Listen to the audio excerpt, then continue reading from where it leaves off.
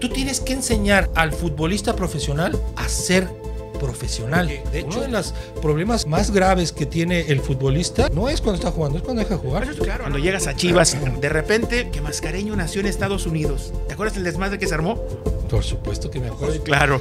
Entonces estaban buscando un chivo expiatorio. Yo no fui el primero No, en no, haber después, jugado. después de ahí nos dimos cuenta que Claro. Chava Reyes, Lalo Fernández. Pero no, el no, que se dio cuenta fuiste tú, Sí, ¿eh? sí, el primero sí, y sí. así, fue entrandito. ¿Te acuerdas? entrando. Ibas entrando al club, ¿no? Claro que me acuerdo. Voy entrando a Colomos.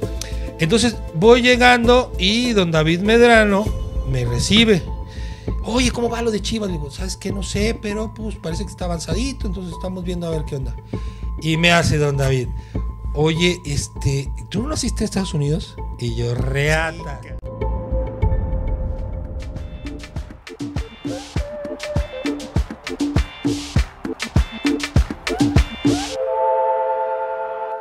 ¿Cómo están? Un gusto saludarlos. Nuestro invitado de hoy, un hombre de fútbol prácticamente de toda la vida. Gerardo Mascareño, gracias por acompañarnos. ¿Cómo estás, Mascareño? Muy bien, David, todo, todo tranquilo, un placer este, saludarlos. Puebla, Atlas, Chivas, Pachuca, Morelia. Si mal no me acuerdo, hasta Chivas Tijuana o Nacional Tijuana. Nacional Tijuana. Nacional Tijuana. Atlante también. Atlante, ¿cierto? Este, ¿te, te- te faltó alguno? León. León, ¿Debutaste- descendí. ¿Alcanzaste a debutar en León? No. No, no, no. Yo, de- yo, yo debuto en, En Puebla. En Puebla. En así Puebla. es, sí. En primera división. En, el, en 1990, a- hace poquito. Dos, dos detalles que eh, cuando uno habla inmediatamente de Gerardo Mascareño marcaron su carrera. El famoso saque de banda para gol de los rojinegros del Atlas con Marometa y su nacimiento en Estados Unidos para jugar en Chivas. Así es. Mascareño, ¿por qué naces en Estados Unidos?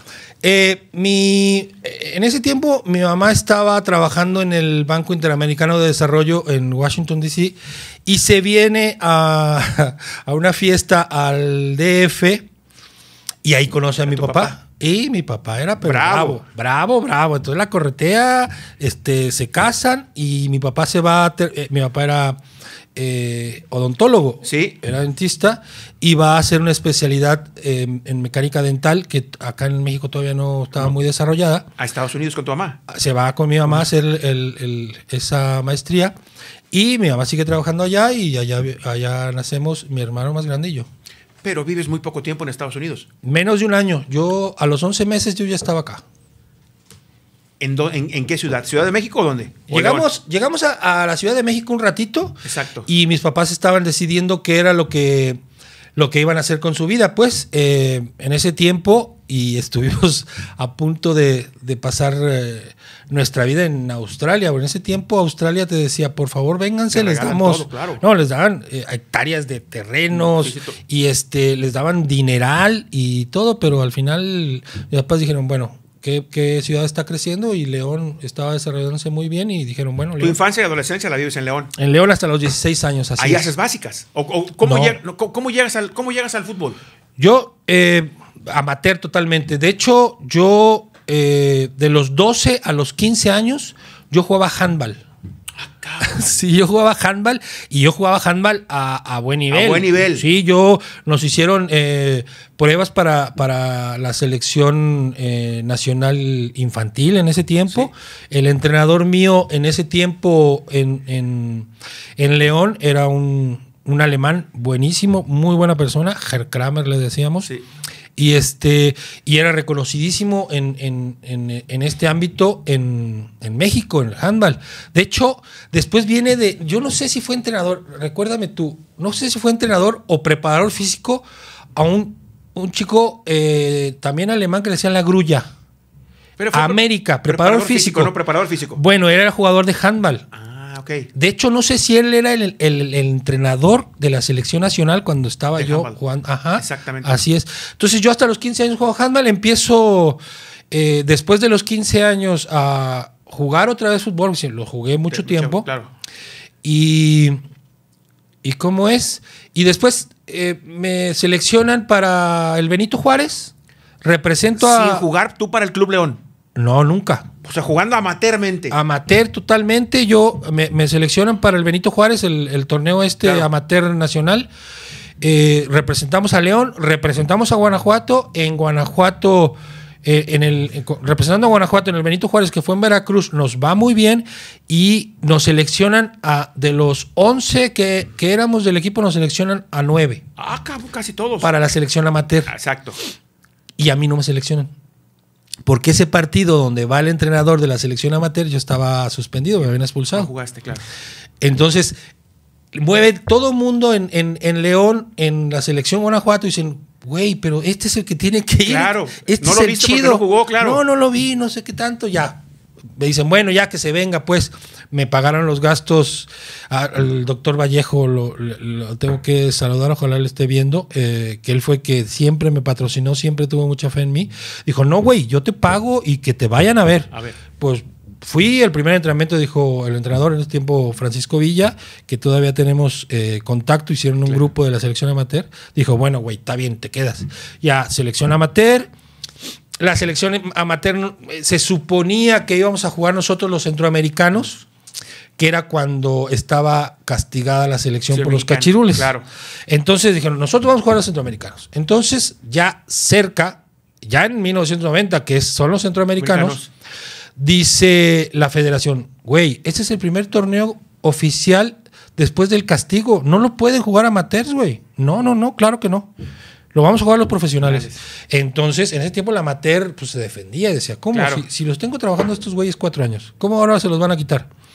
Entonces eh, dicen, bueno, vamos a hacer un torneo, no sé si lo, lo llegaste a, a escuchar, un torneo en Yautepec, que era la selección de primera verde, que la traía Juan Alvarado, la roja, que era de aquí de Jalisco, Jalisco. que la traía Real, ¿El güero real? el Güero Real, una selección de segunda, una selección de tercera, un equipo de Yautepec y nosotros.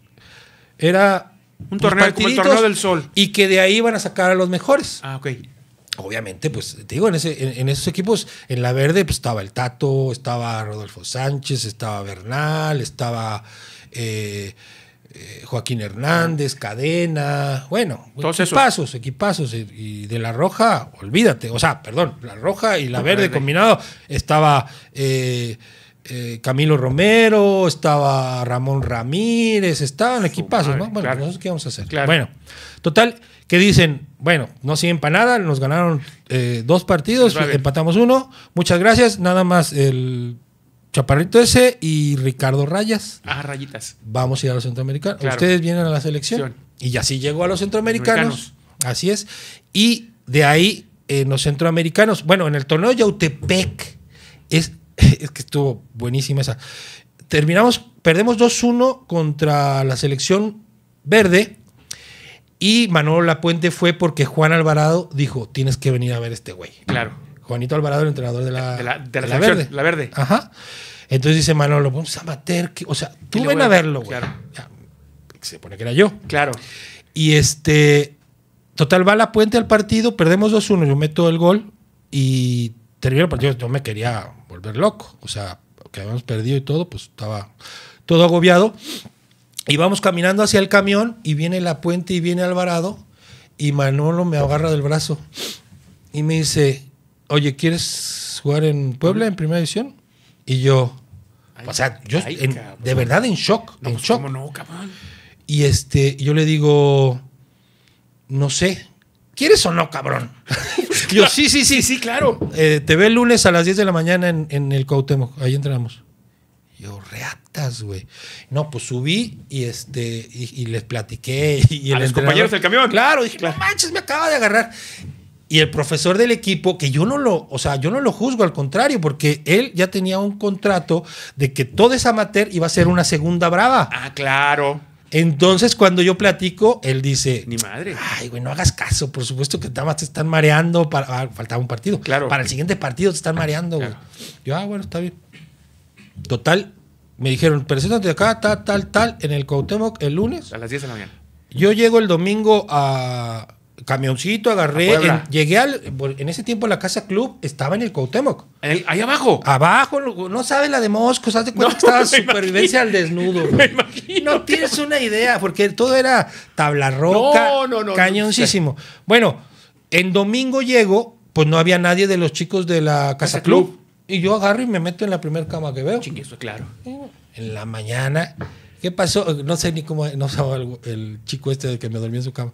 ¿Qué pasó, chaparrito? Ese güey que tienes ahí, no sé quitarlo. Yo, reatas, así es, bueno. Bajo al entrenamiento, estoy una hora esperando a ver qué pasa. Claro. Llego con el More, con el utilero de claro. Puebla. De toda la vida. Sí, de toda, la, vida, vida. De toda la vida. Ahí sigue el güey. Sí. Y este, digo, oiga, pues este, me citaron acá y voy a entrenar. Y dice, ¿qué? Este, sí, ahorita. Y yo dije, "Ah, no me dio bola. Claro. Llega Figueroa. Fíjate con quién me meto, con el burro Figueroa, El que en paz descanse, Figueroa. que era más carrilla el güey.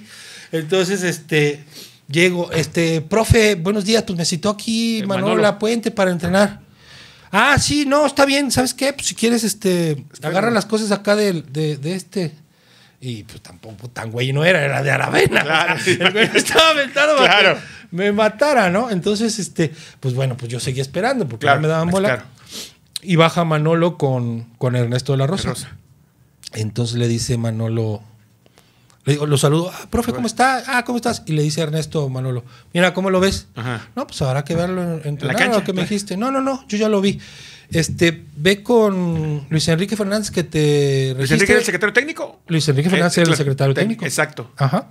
Ve que te registre porque el domingo juegas.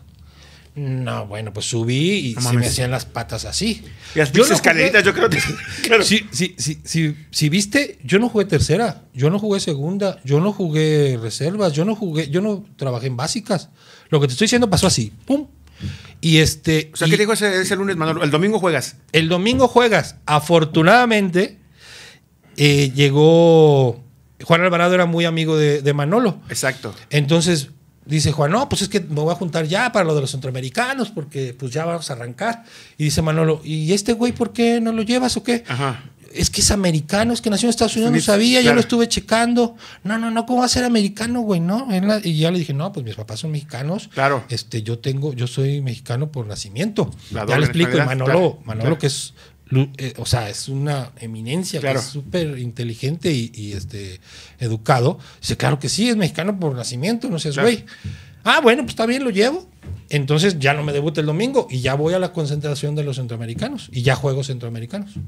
¿Y cuándo debutas con Puebla? ¿Regresando? Yo debuto en el, el, el 6. ¿cu- ¿Qué de, qué año? Yo, según yo, 6 de, 6 de enero del 90. Es que estoy entre Centroamérica, entre. Ajá, yendo y viniendo, claro. Yo debuto el 6 de enero. Exacto. Así es. Y, y me debuta a mí Vieira, porque Manolo se va a la selección mayor. Ah, claro. Y ya, Sí. y ya don Jorge. Don Jorge Vieira, que en paz descanse. Así es. Y Vieira es el que me debuta. Y eh, también es eh, un logro, entre comillas, porque Vieira era difícil con los chicos. Sí, era, complicado. A- a- tengo entendido que el único que debutó fue a Eduardo Córdoba. Y a mí. Solamente. Sí, no, él era. Y digo, es una línea. Y yo no sé si tenga que ver un tema eh, brasileño. Claro. Porque Tuca es mucho de eso. Digo, tu- Tuca merece Los todo mi jugadores respeto. también me a mí. Jugadores, o sea, que, que- que no. Yo no sé si, si sea un tema de que estén mal formados aquí en México. No lo sé. Pero el jugador eh, joven, Vieira, no le gustaba tanto. Y Tuca ha preferido siempre jugadores hechos, pues. ¿Cuánto tiempo juegas en Puebla, Mascareño? En Puebla juego de los 20 que llego a los 24. Cuatro años. Cuatro años, pero yo me rompo el tobillo faltando un mes. No, faltando como seis, ocho meses para las Olimpiadas. Exacto. Yo, yo andando muy bien en, en- en lo- en el preolímpico. A mí los centroamericanos me va muy bien. Somos campeones y yo meto cinco goles. En la final meto dos. El máximo goleador de ese torneo fue Ramón Ramírez, que metió siete.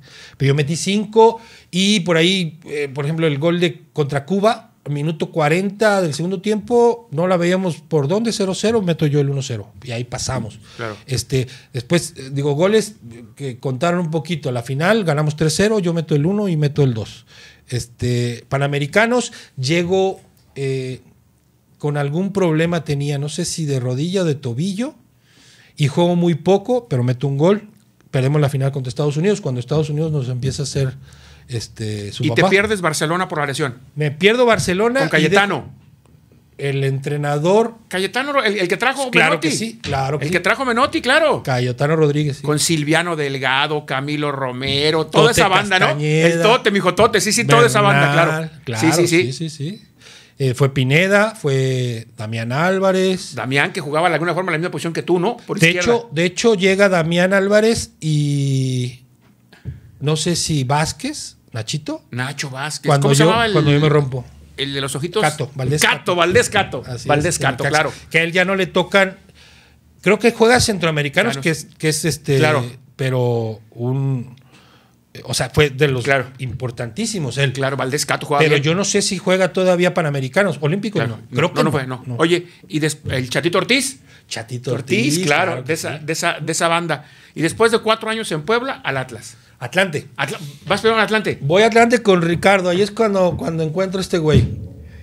Yo, ahora te digo que tengo casi 20 años de entrenador y muchísimas de las cosas buenas que tengo de, de- de entrenador se lo debo a ese güey. Pero ahora. ahora- Pero muchísimas malas también. Pero imagínate, estamos hablando de hace 30 años, güey. 30 años. Así es. casi. 30 años, o sea, Sí, sí, sí. Yo lo conozco hace 30 años, hace Hace- 28, 29 años. hace 30 años donde hoy día todo el mundo tenemos acceso a los entrenamientos de Guardiola, de, de- hoy día todos. En ese entonces eso no existía, Mascareño, ¿no? Mira, mira, y, y yo no sé si, bueno, ni se ha de acordar, ni se ha de acordar el bigotón, aparte yo lo aprecio muchísimo y ese güey yo sé que me aprecia también.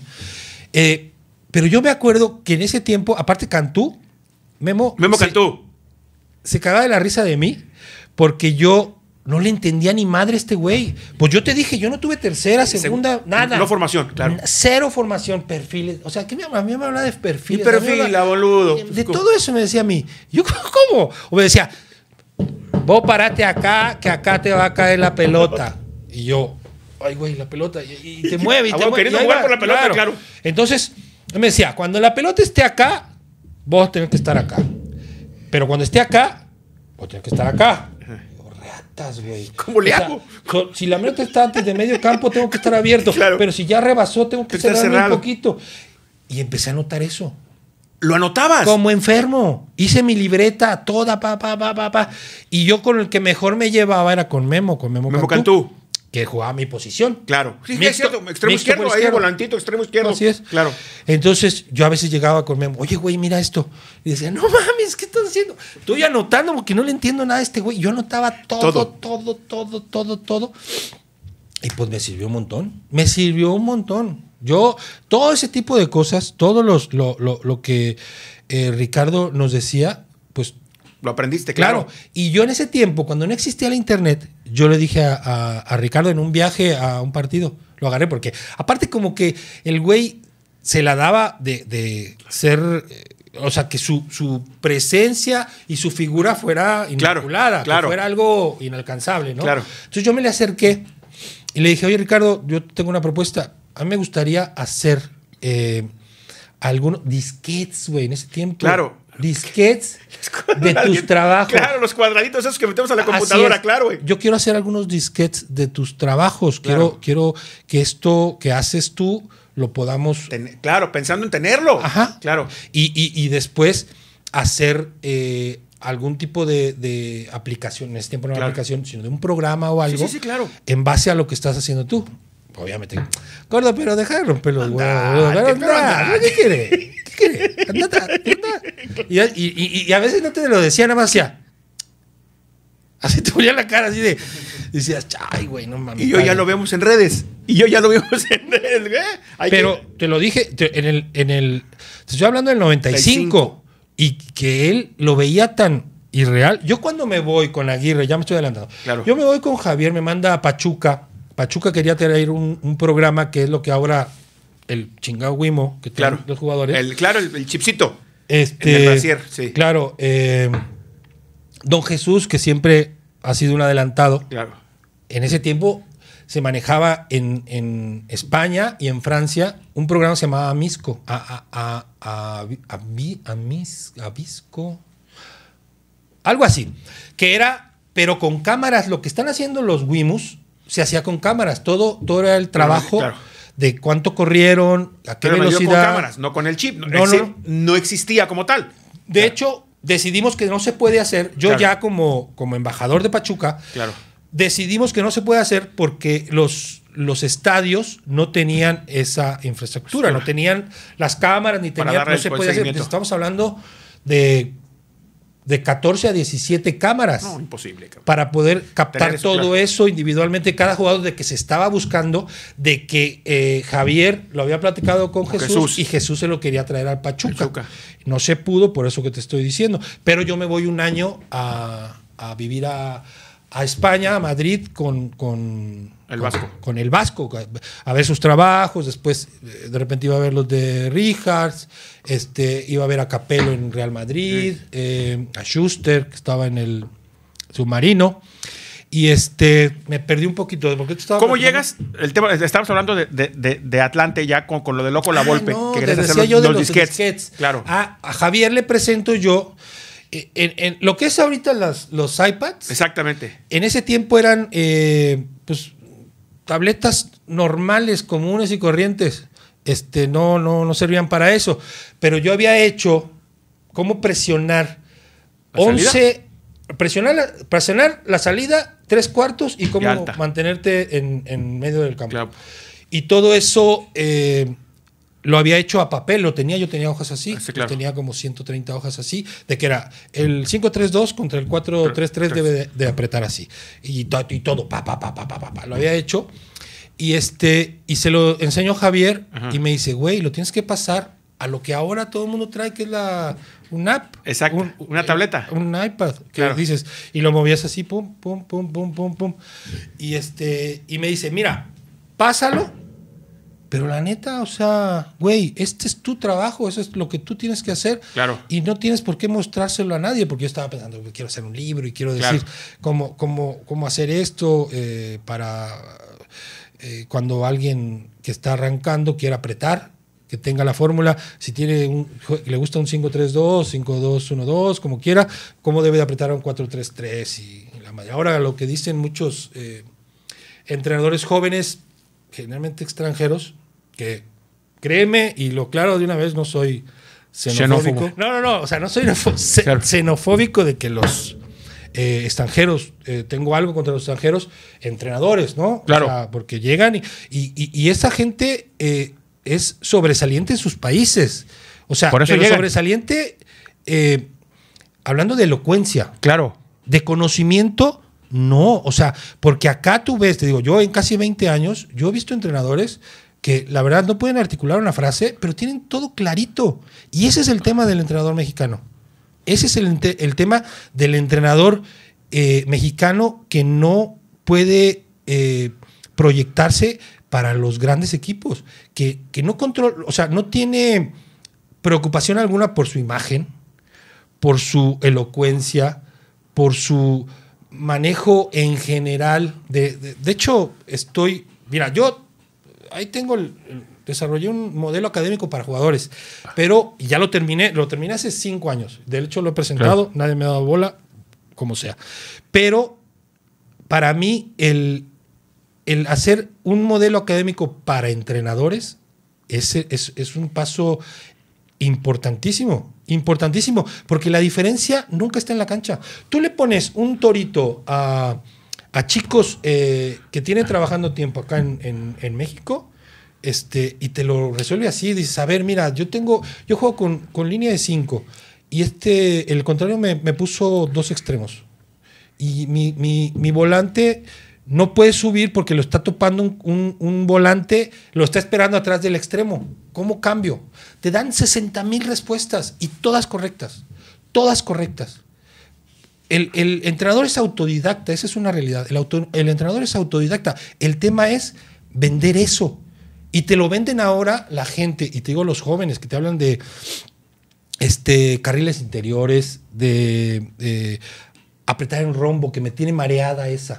Con todo respeto, Mascareño, hay mucha mamada ahora en torno a la, a la, a la fraseología del fútbol Ese que termina el siendo lo mismo, Pero cabrón. el tema, el Pero tema termina es siendo lo mismo. el pro- exacto. El problema es no quién te lo está vendiendo, que ca- cada ¿Quién- quien trata quién te lo está comprando? ¿Quién te lo está comprando? Ese es el problema. Acá llegan, llegan y dicen, no, no, a mí me parece que y los circuitos interiores y, y apretar en rombo, dice, bueno, apretar en rombo. Tú dime, ¿cómo vas a ahora que se cambió la regla, cómo vas a apretar de otra forma que no sea rombo? ¿Por qué? Porque los dos centrales están dentro del área, tienes que poner tus dos nueves o un nueve y otro que esté el media punta ahí. Y si des- y desciende un contención, tienes que bajar con ese contención. Entonces estás apretando en rombo porque te están obligando a apretar en rombo. Si te dejan un si solo no- central adentro del área Ma- y al otro lo sacan, no puedes apretar Y en si rombo. no pierdes, ve, ve, ve la final de la Copa del Mundo. ¿Por qué la pierde Francia? Porque Griezmann nunca se da cuenta que no tenía que ir a apretar al central, tenía que venir al medio campo donde tenían tres Argentina y Francia dos.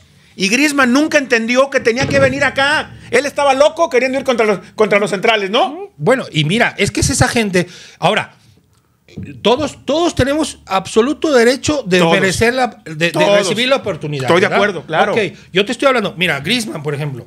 Claro. ¿Cuánto tiene? cuánto- o sea, eh, si tú, si tú pi- eh, piensas realmente cómo, cómo está eh, el fútbol hoy en día, es Pero- con, con- con gente que de repente no decide después, teniendo una- un, un seguimiento real de lo que estás tú buscando. ¿sí? Por ejemplo, y está bien clarita, tú no puedes trabajar muchísimos años con un equipo, y lo dijo, yo acabo de ver la entrevista eh, de Carioca Sí, eh, en Tigres. sí. Después del trabajo de Tuca, no puedes traer a Miguel Herrera.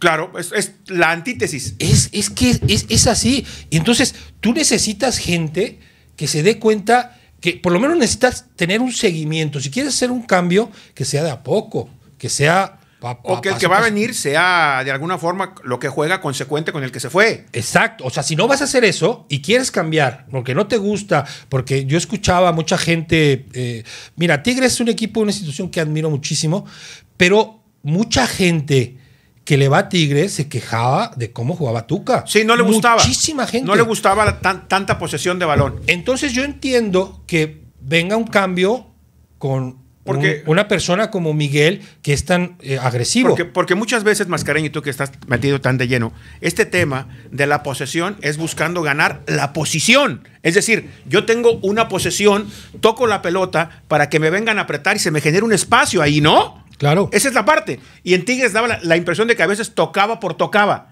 O sea, no toco para que me venga a apretar y me genere el espacio y te la meta ahí en la... en la- Hay, hay un- un- una regla que utilizaba mucho eh, Ricardo, que es eh, el quedar 3-1, Exacto. atrás, en, en- en defensa. Se desprende, en, en- en este caso, y, y también peleabas mucho con, con Ricardo, que decía, a ver, boludo, si va- se va un lateral en línea de cuatro, se va un lateral, ¿qué hace? Cierra el otro lateral. Entonces Claro, quedan los dos centrales y el él, cinco. Y el 5. En mi caso, los dos carrileros pueden subir, no tengo ningún problema, y quedan mis tres centrales. Y Exacto. no pasa nada. Ok, la regla es que ya ha cambiado de alguna forma, es tres, quedan tres y el cinco que dices Claro. tú. ¿Ok? Bueno, con Tuca, y mira, yo, yo dirigí hasta la fecha, yo creo que a más de 10 o 12 que han trabajado con Tuca. Claro. Y Tuca es, eh, en la mayoría del tiempo, yo no digo que siempre, 4 y 2. No Claro. me estorben. Claro. Yo te- necesito tener la capacidad de resolver con cuatro atacantes eh, arriba. Y que con la calidad de esos resuelves. ¿Y cómo me y cuándo aga- y tú dime qué día agarras mal parado a Tuca? Yo creo que viendo y otra vez y Tuca me dirigió, pero, me dirigió en Chivas. Estoy de acuerdo. Pero si tú diriges a Tigres, puedes. Si tú diriges a Mazatlán o a Bravos, ahí te encargo, cabrón. Y tú tienes que rebuscarle. Ah, ah, claro. Tú tienes que buscarle. O- yo te digo, acá lo de lo de Tuca funciona por porque La ah, calidad de los jugadores. La- es que es lo único, lo- o sea, tú puedes hacer, de hecho los sistemas, los, la, la organización que haces tú dentro de la cancha es Depende de, de la calidad para de los jugar jugadores. contra, no, para jugar contra un equipo eh, eh, más, más Yo a bueno que tú, superior a ti. a mí Porque eso- no- eso no existiría. Si, tú- si jugar, como decía Ricardo, tú juegas con robots, todo el mundo tiene que jugar 4-3-3. Es, yo, eso mascareño de repente es lo que también del técnico mexicano, porque uno, uno pelea y grita y levantas la mano para que le den oportunidad a los técnicos mexicanos y de repente yo no veo eso que, eso, eso que tú me estás diciendo, una lectura de, de- de un partido, ¿de acuerdo? Yo veo que Nacho Ambriz siempre quiere jugar a lo mismo. Le jueguen con cinco, con cuatro, con tres, con dos, siempre quiere jugar a lo mismo. Y me parece que hay momentos en que por más bueno que seas, a menos que seas el City de Guardiola, cabrón, pero tienes que también entender el tiempo, el tiempo del partido o no, Mascareño. Acá no se puede, acá en México no se puede eh, eh, tratar de dejar bien clara tu idea de qué, cómo es, cómo quieres jugar. Claro. Tú necesitas, porque acá, fecha 3, fecha 4, Te vas. patadita. Entonces, acá dices, a ver, ¿qué tengo? ¿Quién juega? ¿Quién, quién lo hace? No mejor, sino menos peor. Claro. Entonces, yo tengo que. Acaban de correr a este güey porque le costaba por este lado. ¿Quién, quién tiene, tengo por acá? Tú no puedes llegar a un equipo que está peleando, no el descenso, sino un billete, y decir, ¿sabes qué? Olvídate de todo. Vamos a hacer esto acá. Eh, Pierdes tres seguidos Y ¿sabes qué? El que sigue. No se puede acá. Es como. Yo, yo- yo me quedaba pensando, ¿por qué juzgan de repente al jugador que dicen, güey, este eh, eh, son pocos como Totti, son pocos como Maldini, son pocos como Varesi, como eh, eh, Puyol, que dicen, un solo equipo. Güey, acá llega un entrenador y dice, este no me sirve y no lo va, quiero. y se vas. va. Acá no hay jerarquías No. que, que, que pasen... eh, Porque no tenemos esos jugadores también, ¿no, Mascareño? es que yo no sé, yo no sé si, no, por ejemplo, eh, la misma jerarquía que te da tu club, yo creo que hizo que jugadores como Puyol, como el mismo Varesi, tuvieran... eh, Se porque la- ganaran la- ese, ese lugar. y es que yo creo que va de la mano, das y te dan. O sea, la jerarquía, la, la confianza, la, la- el respaldo que te da una institución, yo creo Pero- que hace, te hace crecer como jugador. Claro. Porque mira, los que te nombré, salvo Totti, Claro. no sé, y Maldini y por ahí, pero Varese y Puyol, pero, o sea, hablando técnicamente, de medio cachete. Y, y es una de las cosas que, que pasa aquí en México, que no nos damos cuenta y que, no, y que no valoramos. Dime una cosa, Mascareño. Tú tienes ya más de 20 años de, de- de entrenador. ¿No le falta estrategia al, al fútbol mexicano? Porque de repente viene el Arcamón con un sistema de, de alta presión y nos impresiona. Viene Almada con un sistema de alta ¿Cómo, presión. dijiste? ¿Cómo es alta presión? ¿Se Presiono la así? salida, cabrón. Pues, Ah, presiono la salida y soy intenso Sí, en la sí. recuperación de la pelota. Pero esas, yo- esas mamás que hay. O sea, Exacto. viene Pauno con, con, con, con, la misma y, y nos impresionan. ¿Cómo Cuando se esa llamaba? chingadera es más vieja que, que el agua caliente. ¿Cómo se llamaba el chico este que dirigía en Cunclillas? ¿De qué equipo? Eh, Morelia, este... Ah, Guede. Guede. Guede. Pero igual arrancamos así y pensamos que estos son, mira, primero son lindos, ¿eh? No, no, y, y- y saben vender su verso, güey. No, esa, esa hablar- parte tenemos que reconocerla, cabrón. Pero es que no, es que no es que solo reconozcas eso, es que es eso. Pero- es que es eso, porque mira, dentro de la cancha no tiene nada que ver lo que hablas fuera de la cancha. Claro. Y la forma en que te. Yo te- ya, ya, yo insisto con este tema, y, y por favor denme bola. El tema de que trabajemos a los chicos acá que saben tanto. Ahorita tengo, pues tú lo conoces muy bien, al Chompón Medrano. Sí. Ese güey te la sabe todas, todas. Pero no es agraciado. No. No te habla muy lindo. Y estás pelucas. Estás pelucas. Y te digo de él, y te digo de no sé, de 20 más que no tienen, la- no hablan como el Arcamón, no hablan como Guede, Oye. por caridad de Dios. Ahora, Guede, Oye, yo le oye. decía, ¿cómo, tú, ¿cómo vas a convencer a tu jugador de que fuiste futbolista si tú puedes estar en cunclillas 10 minutos? Yo no puedo estar 10 segundos. Pero con unos ningún Dolce- es jugador, pero con ningún unos es jugador Dolce Gabbana, puede estar, claro, ningún es jugador puede estar en Ahora, cunclillas. por ejemplo, y el más claro ejemplo mascareño es Mario García. Mario García. Mario García es un chingón. Puede estar loco, no nos puede gustar su aspecto físico, sus pinches lentes de fondo de botella, lo que me quieras decir. Pero la calidad del tipo ahí está, mascareño. Mario, Mario está clarísimo que es, es fíjate, aparte, eh, mide 1.8. Sí, Mide 1.8, tiene, este, o sea, te digo, no es eh, agraciado físicamente. Eh, el chico tampoco se, se expresa El verso, claro. que eso, sabes que después de todo este desmadre, lo que más valor le da el jugador, y yo lo sé, porque yo, yo, yo te puedo dar una lista de 200 jugadores, no hay uno solo que hable mal de mí. Claro. Y no hay uno solo que no me tenga absoluta confianza. Y parte todo de que eres auténtico. Mario García tiene problemas de venderse con la gente que compra, pero está feliz y está la gente que lo- lo- los que cuentan que son los jugadores Claro. están convencidos porque él es auténtico. Ese es el tema acá. Y después cuando un, un- un chico eh, extranjero, y sigo con ese tema, que, que- igual puedo decir con el extranjero o con los, los, los que tuvieron una carrera fantástica, que les dan su oportunidad porque jugaron muy bien y Claro. pues dijeron, ¿sabes qué? Este güey jugó muy Claro. bien, debe de ser buen entrenador. Que es lo mismo, ¿eh? aunque sea mexicano. Ah, no, estoy de yo, acuerdo. Lo, yo lo que te estoy diciendo es que un tema, eh, pero medular con, con Mario y que él es el, el- el abanderado de nosotros, Claro. es que el güey lo ves y Sagrado Corazón de Jesús. El, el chico, como te digo, físicamente no impone, no, ha- no, no tiene la adicción, te digo, no tiene la elocuencia. Ni- ni el verso, Ni el pues. manejo de imagen. Claro. Ni el de redes sociales, porque no tiene que- por qué estar diciendo eso, porque nosotros lo sabemos. Claro. El tema es que la gente de arriba no lo sabe y lo peor es que le vale madre. Claro. Aunque lo sepa decir, a mí qué me importa, yo no voy a llevar a este chico, no es mediático.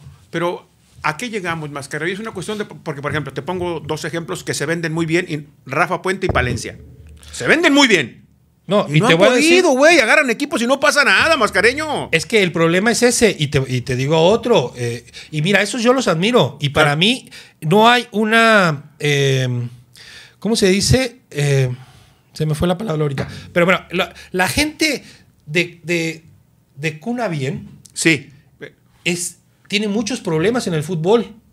Le cuesta, le cuesta trabajo entrar. Le cuesta, trabajo le cuesta entrar. trabajo porque nosotros, los- Venimos de- los, de- morenitos, del barrio, claro, claro. Este, este, este pinche, güerito, Claro, lo, fifí, lo claro. voy a cagar a patadas. claro, claro. Yo por eso admiro muchísimo a, a- Aspe. Sí. Bueno, ese güey tenía unos así. Sí. A, a, por supuesto, a Luis García, a Torrado, referentes. Te estoy hablando eh, de gente que no era calidosa, ¿eh? Estoy hablando de gente que tenía una mentalidad diferente y todo viene de cuna. Ese es el tema. Todo, el problema con los jugadores eh, con, calidad es que cuando viene la fama y la fortuna, se les viene la noche porque eso, el 99.9% de los eh, jugadores no vienen de padres jugadores o de familia de jugadores. Entonces nadie les, les, les puede enseñar o les puede prevenir todo el cagadero que se viene Claro. que es, no tienes una idea el, lo difícil que es para ellos y por eso se pierden. por eso ver- cuando alguien sobresale, tú estás pensando, en general, ¿a qué hora la va a cagar? Claro. ¿A qué hora la va a cagar? Cuando dices, este güey es buenísimo y este chavito la va a romper, la va a romper y por dentro, ¿a qué hora la caga? Claro, ese es el problema, porque pasa, después se marean y confunden sus metas reales, sus sueños reales de niño, que era jugar un mundial, jugar en Europa, ser el mejor delantero de la historia en México, a esta vieja está buenísima. Mira toda la lana que tengo, ve este coche que tengo, o La- la le compré casa a mi mamá, ya cumplí. Claro. ¿Sí me? Ahora, Mascareño, el tema es, y cuando digo el técnico mexicano, entiéndanse que yo considero mexicano a Tuca Ferretti, Romano, La Volpe, Caballero, todos esos que jugaron, el turco, jugaron acá y acá se hicieron técnicos. Así es. Yo los meto en la bolsa del técnico mexicano. Y te pongo un, un- un clarísimo ejemplo. Ustedes, tú con Gabriel, llegan a Mazatlán, que lo había dejado Beñat San José. Y el trabajo de, de ustedes con Mazatlán, ahí están los números para que los vean. Y hoy resulta que Beñat San José tiene otra oportunidad en México y Caballero está ya arrumbado. Mira, eh, como, como te digo, la gente obviamente sigue el, el tema de los representantes. Yo no sé, no me quiero meter en ese tema. Yo, a mí me encantaría hablar siempre dentro de la, o sea, de la cancha. Cancha, fútbol cancha. Y eso, y eso, yo creo que ha sido uno de mis problemas hasta como jugador. Yo no tengo la relación que tengo porque yo veía a los directivos y decía, a mí me chupo un huevo, ¿qué me importa? Yo lo que tengo que hacer dentro de la cancha. Claro. Y por eso ahorita, pues, no tengo relación con nadie, porque yo nunca le busqué la cara a, A los- nadie. claro. Ese fue el problema, ¿no? Pero es, es un tema que se debe de tratar. Y yo, eh, para desarrollar estos modelos académicos que tengo, tanto de entrenador como de jugador, es porque yo estuve allá en el infierno y yo sé de qué me equivoqué, yo sé en dónde me equivoqué y qué me hizo falta, ¿sí me entiendes? Claro. Ahora, regresando al tema de, de, de Beñat, eh, pues, yo, para mí, es el, lo que presentas, ¿no? Probablemente tú presentas un proyecto y dices, bueno, no se cuajó en Mazatlán, o bueno, no se cuajó en, no sé dónde estuvo, en Bolivia, en Bolívar, eh, claro. En el Bolívar, ajá. Claro. Pero es un buen proyecto. Y quien lo lee, dicen, oye, güey, está súper chido esto. No sé si sepan si es viable o no, si es real o no, eh, o- etcétera. Yo, otra vez, yo ojalá y no esté hablando mal de, de esta persona. Aparte, en, en Mazatlán, todos hablaron extraordinariamente.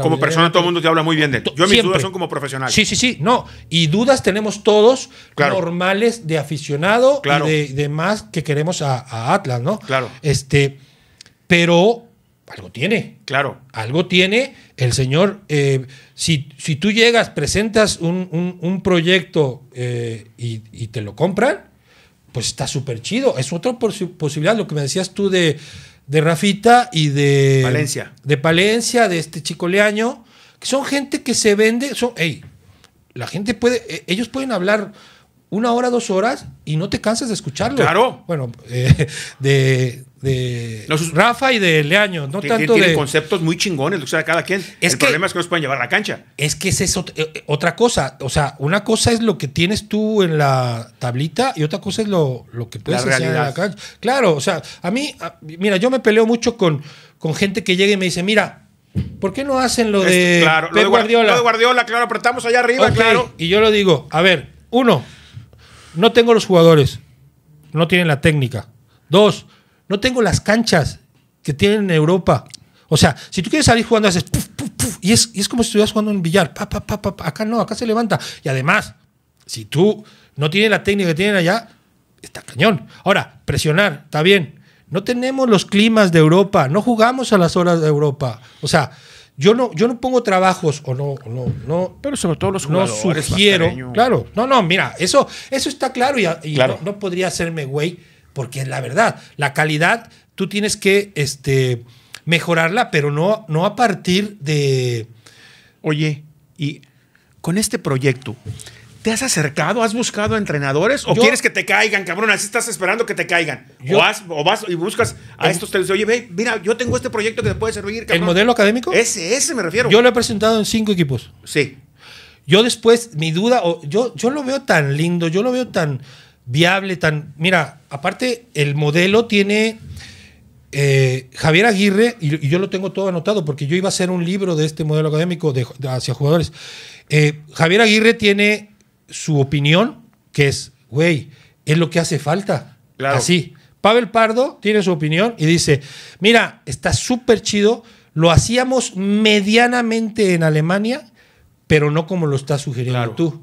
Rafa Márquez tiene su opinión, Luis Hernández, y te digo 10 más, el matador Hernández, o sea, 10 más que dijeron, güey, esto es. ¿Y qué, cuál ha sido la respuesta de los equipos donde lo has presentado, Mascareño?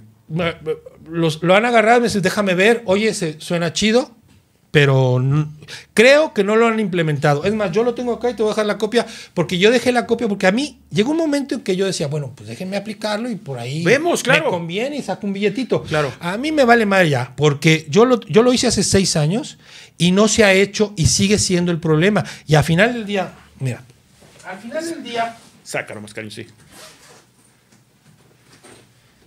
Al final, ay, ya no, no me estás escuchando desde acá.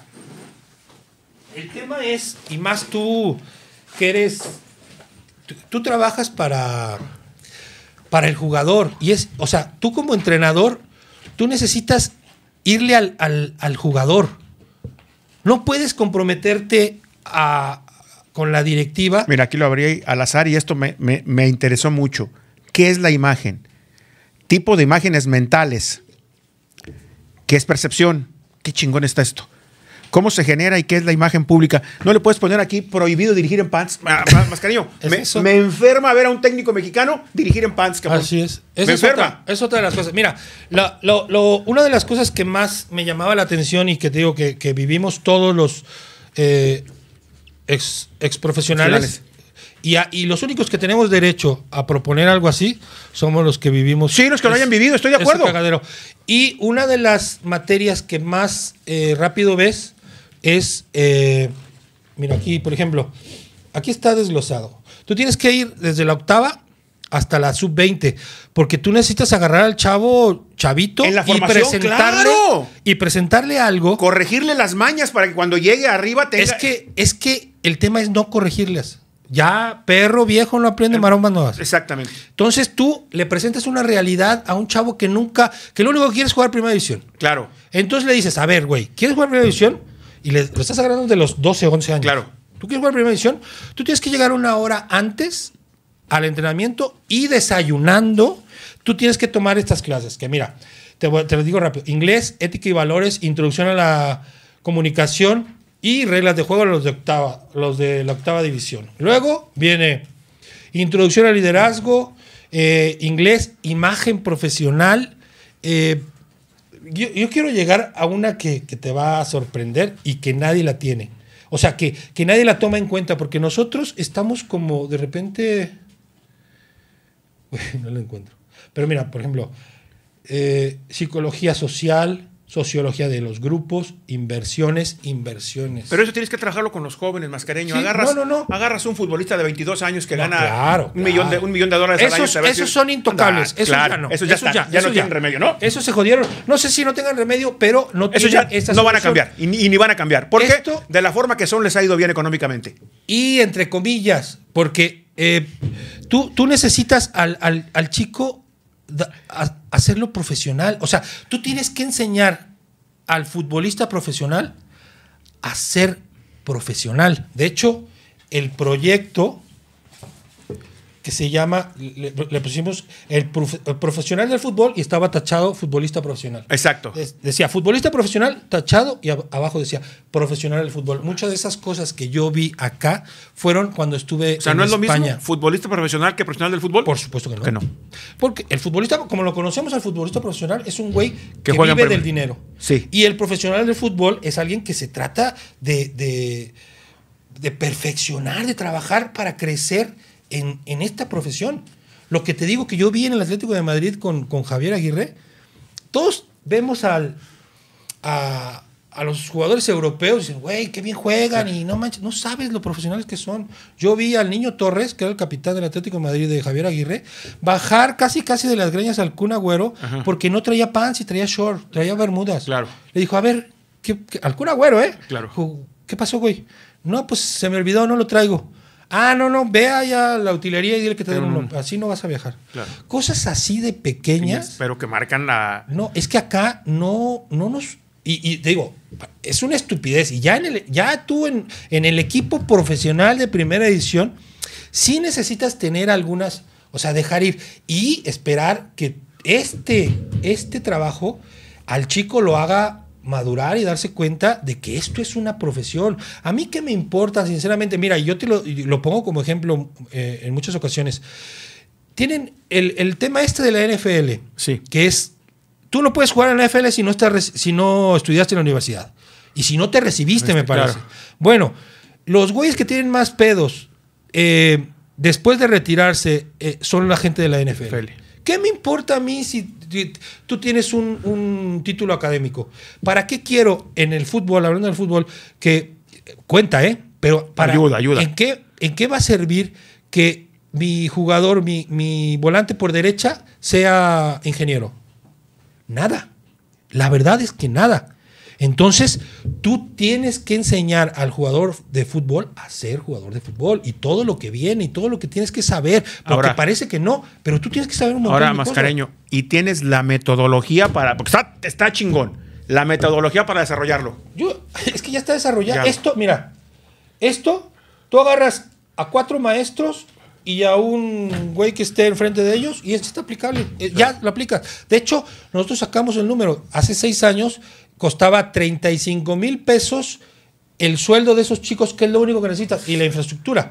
Tener tú los, las aulas, que Ahora. son cinco clases por semana para ocho categorías. O son una clase por día por grupo. Por Bueno, categoría. son- Total, son 35 mil pesos en ese tiempo. Yo no sé a cuánto suba. Claro. Esto es lo que tenía, lo, lo que. La inversión. La, la inversión, pero si tú ves acá, mira, esto, esto ya está desarrollado. O sea, tú le dices a tu, a tu maestro de inglés, tú tienes que aplicar esto. El güey, ah, listo, yo lo hago.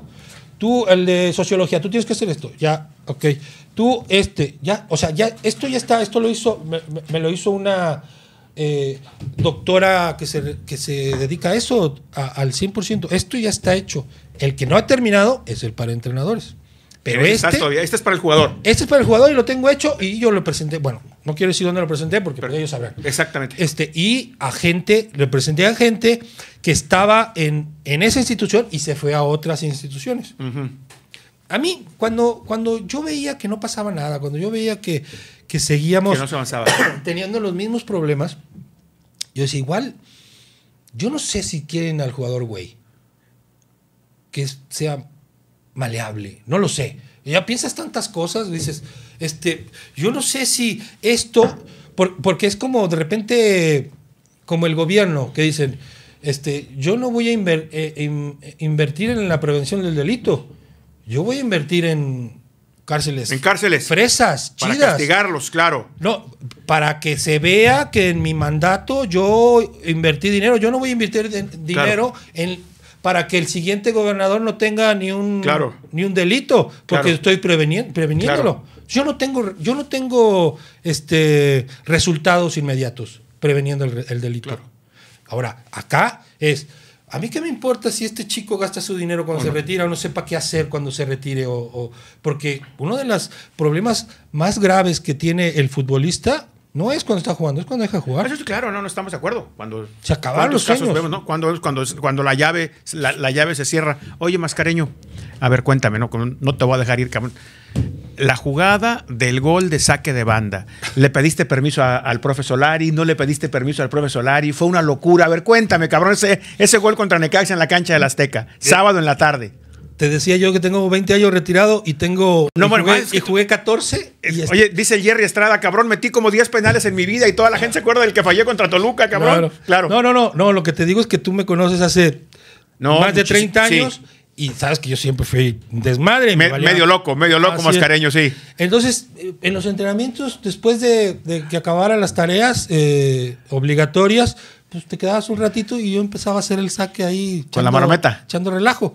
Y una vez me vio este Eduardo, Eduardo Solari, y me dijo, eh, gordo, si no lo haces en el partido, sos un cagón. No, ya cuando me dio la entrada, dije, pero por supuesto. Nada más el siguiente partido era en el Jalisco. Claro. Y ahí no había espacio para hacerlo. Entre la banda y el exacto.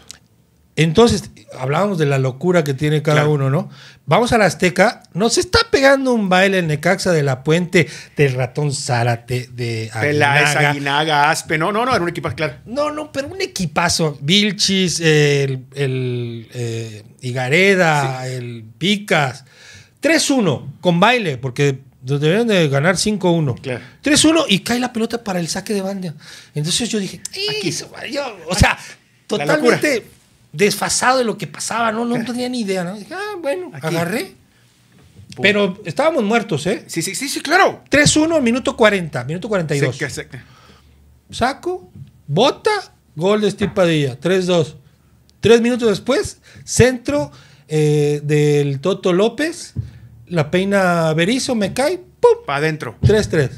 Se Rescataron. acabó. Empatamos 3-3 contra el campeón, contra el Necaxa, el mejor Necaxa de toda la historia. ¿eh? Digo lo que, lo que sea, es de Necaxa, ¿era? ¿Y cómo? Pero, pero esa marometa, ¿por qué la hace? ¿Nomás de mamá? En la selección amateur, cuando estaba yo, Claro. cuando te digo, en la selección amateur, que Claro. cero presupuesto, nos tenían encerrado en el Sedom, eh, desayunábamos, comíamos, cenábamos lo mismo, o sea, pero mal, mal. Entrábamos en la mañana y generalmente en las tardes no lo hacíamos y teníamos todo el día libre. Entonces, allá había un, un espacio donde entrenaba la- los, los de el polo de pasto. Ajá. Hockey de pasto. Hockey sí. de pasto, ajá. Es, es, un, es un óvalo. Y, y es pastito y ahí está. Claro. Y, y no teníamos nada que hacer. Ah, nos salíamos, claro. Ensayaban. teníamos dos, tres balones. Ensayaba la marometa. Y, y allí era Ángel Castañeda, que jugó en Pachuca. Sí, que- sí, sí, que un, volantito jugaba bien, ¿eh? Sí. este, y luego estaba el Jarocho. Eh, es que como yo siempre leía Jarocho, se me Toño, Toño. Ah, Bueno, también debutó. Claro. el güey. Eh, de la materia éramos así malitos, pero con ganitas. Claro. Y esos tres los practicábamos. La marometa esa. Y el que peor le salía era a mí. Claro. Los otros dos güeyes la mandaban. ¡fum! ¡fum! ¡fum! Y pero pues el único que se animó, lo que te digo, el chiste es. Y terminó en gol, güey. O sea, Terminó y terminó gol. en gol, eso, y eso, pues, ahí, ahí está, ahí está grabado. Acaba de caer hace poquitito en fútbol profesional el segundo gol, porque Ah, sí. el, el- el- el otro de León que lo hacía muy bien, ¿quién era? Eh, eh, ¿El Aris? ¿El Aris Hernández? ¿Lo hacía el saque de sí. banda también o no? El de Manometa. No, no recuerdo. Sí, lo hacía, pero como no cae en gol, No, no pasa No nada. pelas, no pasa no nada. pelas. Termina siendo una como maestra. Claro. Sí, sí, sí. Oye, y la otra que también te hizo ganar muchos. eh, Chivas. Cuando llegas a Chivas, recuerde usted, no, no existía San Gogle. No, no existía que le pico Gerardo Mascareño en Google y que me dice nacido en, Ma- en Maryland, nada. De repente, que Mascareño nació en Estados Unidos. ¿Te acuerdas del desmadre que se armó? Por supuesto que me acuerdo. Y, y- y- y es que es, es- fue un tema más eh, por lo que me dijeron después. En ese tiempo tenía rentado el equipo, El Liceo Martínez Garza. así es, y como buen eh, empresario, lo- o sea, sacó ventaja de esa. O sea, Claro. le salió barato. Claro. Después el Club Guadalajara se dio cuenta que le habían picado Claro, los ojos. Claro. Entonces estaban buscando un chivo expiatorio. Porque al final del día yo nunca, o sea, yo no fui el primero No, en no, ya haber después, jugado. nos- después de ahí nos dimos cuenta que Claro. Chava Reyes, Lalo Fernández. Pero no, el que se dio cuenta fuiste tú, Sí, ¿eh? sí, el primero sí, y sí. así, fue entrandito. ¿Te acuerdas? entrando. Ibas entrando al club, ¿no? Claro que me acuerdo. Voy entrando a Colomos, feliz porque estaba la negociación. Por supuesto, jugar en Chivas para mí era un, un avance grandísimo. Aparte, yo no estaba a gusto con, Claro. con Ricardo. Ya, ya, ya de mucho roce, ¿no? Sí, mucho roce ya había tenido con él. Entonces voy llegando y don David Medrano me recibe. Oye, ¿cómo va lo de Chivas? Le digo, ¿sabes qué? No sé, pero pues parece que está avanzadito, entonces estamos viendo a ver qué onda. Y me hace don David, oye, este, ¿tú no naciste en Estados Unidos? Y yo, reata. Se puso a peso el kilo de calabazas. Y le digo, sí, David, pero, hey, mis papás son mexicanos. No, no, yo lo sé, yo lo sé, yo lo sé. Tan, tan. Y ahí empezó el, el coso este, que fue, como te digo, encabezado por el Tubo Gómez, por los, los este, La campeonísimos. gente del club, ¿no? La gente Sí, del sí, club. sí. Y al final de cuentas nos dimos cuenta que un Wintilio Lozano y que se cuenta muchísimos casos de gente que nació en Estados Unidos pero tenía la doble nacionalidad, ¿no? Claro, no. Y, y- incluso yo, yo no tengo la nacionalidad norteamericana. Yo renuncié. A eso. En- O sea, tú no tienes la doble. No, yo renuncié a la norteamericana cuando en los centroamericanos, cuando te decía esto de la puente, me dijo, llévatelo, güey. No, claro, pero nació en Estados Unidos. claro. No, no pasa nada. Entonces, los del, eh, la, de la federación me dicen, sí, está bien, juegas, pero, Pero tienes que renunciar a la norteamericana. Claro. En- porque en ese tiempo no había doble, Doble nacionalidad. nacionalidad no Cinco años después ya cambió Claro. esto. Pero Oye, no. ¿Y qué, es, qué hace ahora Gerardo Mascareño? Pues mira, yo con el tema de. Yo soy auxiliar de Gabriel. De Gabriel Caballero. Este. Y estas son pausitas medio eh, complicadas, ¿no? Ahora, de hecho, el torneo pasado fue. Pues decepcionante, porque hubo opciones para que Gabriel fuera tomado en cuenta otra vez. Y yo platicando con él es que nunca hubo un real acercamiento. Acercamiento, Entonces, no se dio. Exacto, son cosas, yo te platicaba hace rato y ojalá y me, me- me- permitas Claro, decirte claro, el, tema, el tema de Gaby. Eh, Gaby, cuando yo llego con Gaby, mira, así, resumiendo, en números yo te digo, Gaby en siete años dirigiendo, Gabriel Caballero, en siete años dirigiendo desde ascenso hasta primera división, yo te sus logros son eh, cuatro finales, no, tres finales, no, tres campeonatos en cinco finales. Eh, el tema de, Dorados que te decía, nosotros llegamos a Dorados para formar jugadores nada más. Y es lo que nos habían dicho. Y somos campeones. Entonces, nosotros ya estamos, al siguiente torneo, aparte de ser campeones eh, con un equipo que no estaba diseñado para ser campeón, al siguiente torneo, este mismo equipo, reforzado eh, muy poco, somos superlíderes todo el torneo, faltando una fecha, no somos, para, yo, yo te platicaba hace un rato, ser campeón y ser bicampeón, o sea, cuando eres bicampeón, está muy cabrón. Claro. Pero ser campeón y ser superlíder Eso está bravísimo. Y no lo hicimos, pero fuimos campeones un torneo y al siguiente torneo, en el último, en la ¿Partido? última fecha, perdimos la, El super-. Y en ese torneo es cuando perdemos la final con Lobos. Y de ahí nos chispan. No me preguntes por qué, pero nos salimos. Probablemente porque iba, necesitábamos o queríamos un incremento por lo que habíamos hecho. Claro, pero normal. no había presupuesto, obviamente, porque ellos querían formar jugadores, Claro. que se vale. Nos vamos a Tapachula, lo que te comentaba. En Tapachula, resumiendo, agarramos un equipo que no había hecho ningún punto en cuatro fechas, un gol, ocho en contra, y en ese torneo quedamos líderes de goleo y no calificamos por un punto.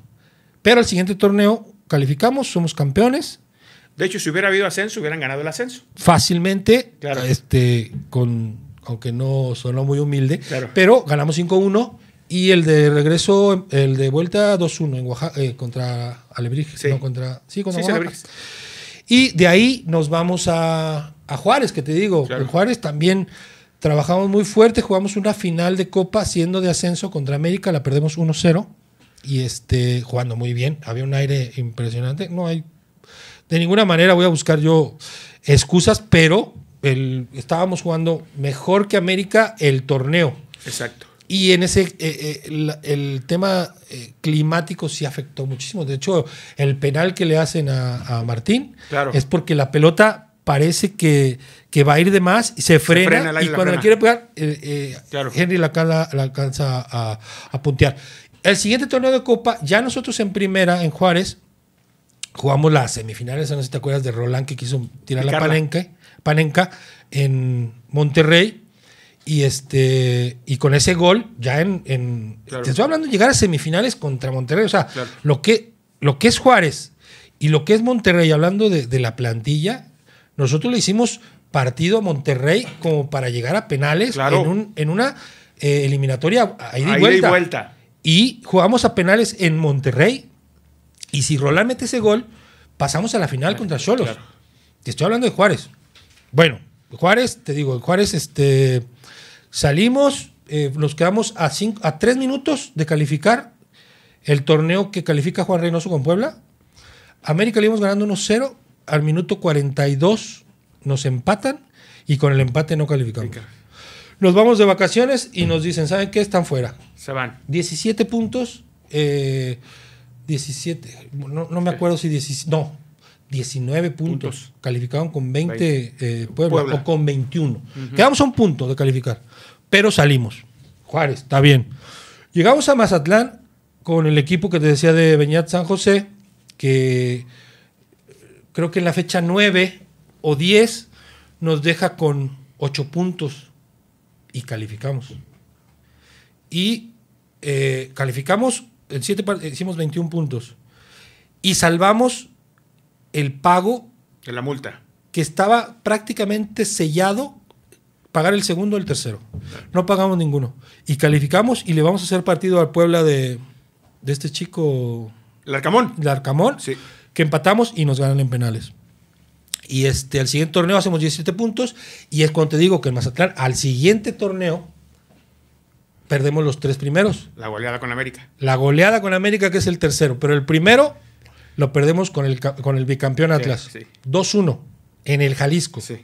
Siguiente partido, perdemos con Santos 2-1, que era un Santos que estaba jugando muy bien. No sé si era todavía de Almada. Claro. Y creo que no.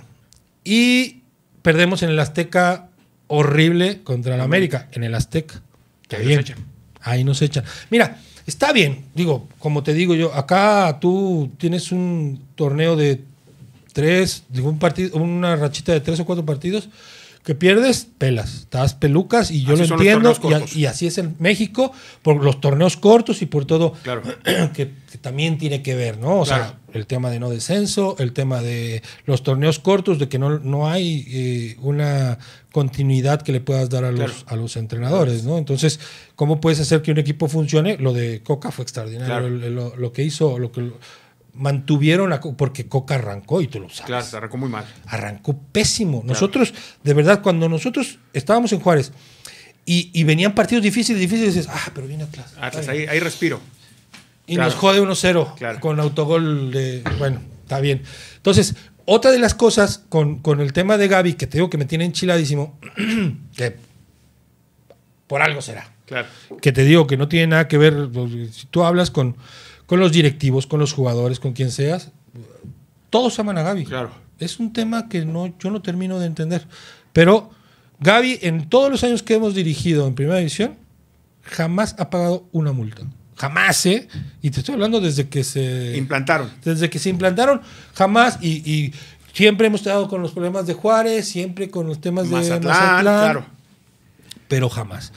Pero mira, por algo pasan las cosas, ¿no? O sea, yo hablo seguido con Gabriel y, y él siempre está actualizando, siempre está preparando. Es un. Como que nos complementamos porque él es un enfermo de todo lo este, táctico, eso que se habla, ¿no? Claro. O sea, yo soy más de cancha. O sea, yo soy. De repente, ¿sabes qué? Este güey tiene estos problemas. Entonces yo lo Vamos a trabajar. Yo- para, mí, para mí, los temas que yo trabajo, de hecho. eh, con Javier Aguirre he tenido muchas pláticas, eh, pláticas de que esta, lo que hago yo es una especialidad, pues no es algo que trabajes tú en general, que tú tienes a tu, a tu auxiliar que te ayuda para tus trabajos, de repente para algunas correcciones, pero las, las situaciones específicas eh, técnicas de los jugadores, Tú las trabajas. Sí, tú que un que- central no sabe retardar jugada o que no sabe perfilar. O sea, a esa voy, claro. eh, fildeos, Claro. perfiles, botadas. El otro día tuve, hablamos como, según eso nos íbamos a ver 15 minutos el Chompón y yo, hablamos como 3 horas. Horas, claro. Yo le decía al Chompón, por ejemplo, resumiendo, cuando tú le dices a tu centro delantero, te tienes que votar, tienes que enseñarle cómo votarte, porque si se vota hacia donde está el balón, quiere decir que va a votarse a sostener la pelota Claro. a descargar, porque no puedes botarte hacia el balón e ir perfilado. Entonces, ¿Cómo el- le haces? El 9 tiene dos formas de botarse, para jugar y para, des- para sostener, para descargar, para hacer de poste. Cuando vas hacia el balón, eres poste. Cuando vas hacia el otro lado donde está el balón, vienes a jugar. Ahí sí te puedes ir Claro. perfilado. O sea, si la pelota viene acá y vas hacia allá, ¿cómo te perfilas? No. Pero si la pelota está allá, tú haces acá. acá, entonces Claro, puedes te perfilar. Entonces, todo ese tipo de cositas son en general lo que trabajo, aparte del manejo de grupo y, y todo ese tipo de cosas. Pero eh, a mí me parece que no, no, o sea, no encuentro la razón por la El cual. motivo por el cual. Exacto, porque si estamos hablando, y, y vamos a caer en lo mismo. Tampoco es que se venda muy bien Gaby, porque Gaby es demasiado Introvertido. auténtico. Y introvertido, no es, Exacto. no es Tú- un hombre que le, va, a que le va a mandar un WhatsApp a un presidente de equipo, pero a tú un lo ves claro. también, él sale con polo, sale, o sea, él, el- cuando estamos con equipo es lo ideal. Claro. Porque los chicos saben que este güey es lo que es, Claro. es así. Se Es vende, claro. auténtico, es leal, no tiene Claro. ningún problema. El tema es que después viene el trajecito y que viene... El vers, el versito, claro. que Trajecito fino, el Dolce Gabbana en el, en el tenis. Mascareño, hay que aprender, cabrón. Y sí, la verdad que sí. Mascareño, eh, muy agradecido con que nos hayas acompañado. Platicamos sabroso de, de, de, de, de- de fútbol. Ojalá y que pronto los veamos trabajar. Ojalá, David, la verdad que es este un placer. Cuando escucho tu voz, me acuerdo de, de mis tiempos de, de jugador, cómo narrabas, cómo. de- por supuesto que eso te, te mueve y, y es. Es que recordar es vivir, Claro, tú eres, es vivir, cabrón, Tú eres digo. futbolista hasta que te. Yo no soy exfutbolista, yo soy futbolista inactivo, como dicen los abogados Y- que dicen, no soy exabogado, tengo 80 años, ya Claro. no ejerzo, yo soy futbolista y no ejerzo. Y- Y, tú, yo escucho, escucho tu voz, escucho las voces de, de- de algunas personas que me marcaron tanto, porque pues, tú tienes grabados Claro. todos tus goles, Claro, todos tus pues, buenos claro. partidos, y los escucho digo, que- bueno, la, la forma tan, tan eh, chida que te- te- en ese tiempo se, se expresaban de uno, te queda para, para toda la vida. Para Es que la placer. escuchen los hijos y los nietos, ¿no? Claro, Claro, ¿no? que digan, mira, escucha, cabrón, lo que decían. Así es. Gracias, Mascareño. Al contrario, Nos vemos la próxima.